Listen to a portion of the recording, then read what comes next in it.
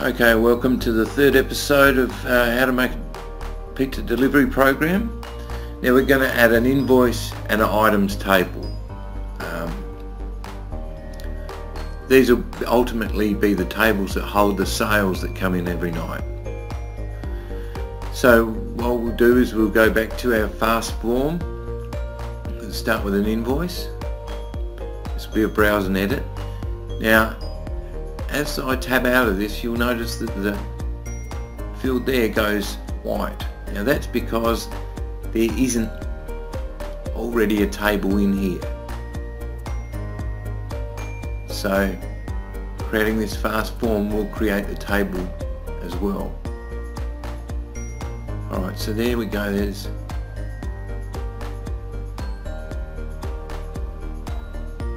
our main form. And now we're going to create a subform. Same thing applies here, this is, isn't already in the database so those fields will go white. So we're going to add product, two number fields and a calculated field here. And we need to give it a foreign key that will link back to the invoice table.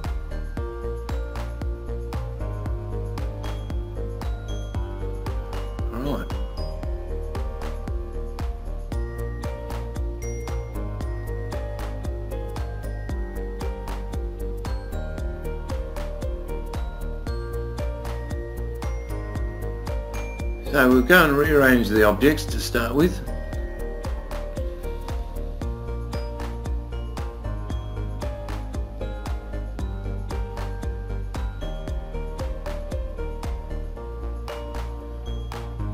We'll take these calculated fields, we'll put them under the invoice. Not just there, about there, that way that they'll line up with the total in the items subform when we get there.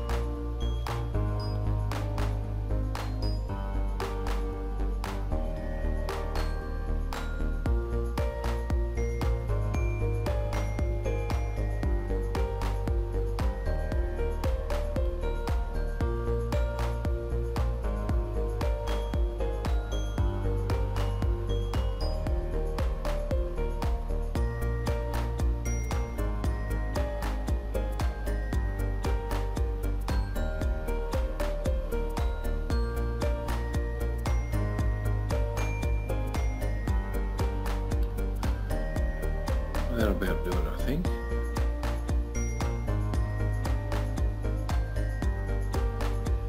I'll make this tax field a bit small, it doesn't need to be that wide.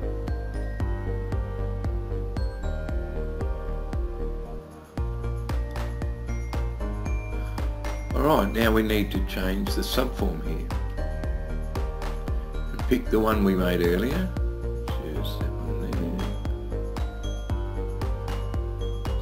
Key.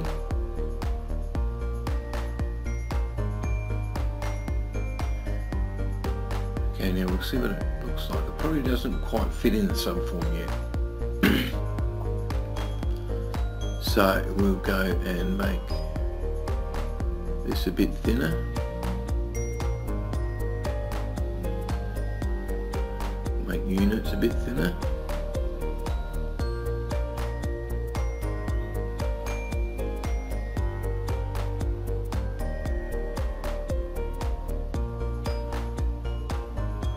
Right now, in the next video, we'll be setting up calculations and we'll be doing things like getting descriptions from the products table and putting them on the invoice. The same with the customer name, we'll be putting that on the invoice. So that's all to come in the exciting next episode.